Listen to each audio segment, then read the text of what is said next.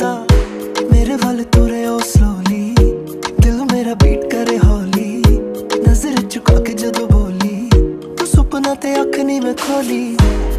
ਨਾਲ ਨੱਚਦੀ ਰਹੀ, ਉਹ ਬੁਲੀਆਂ 'ਚ ਹੱਸਦੀ ਰਹੀ।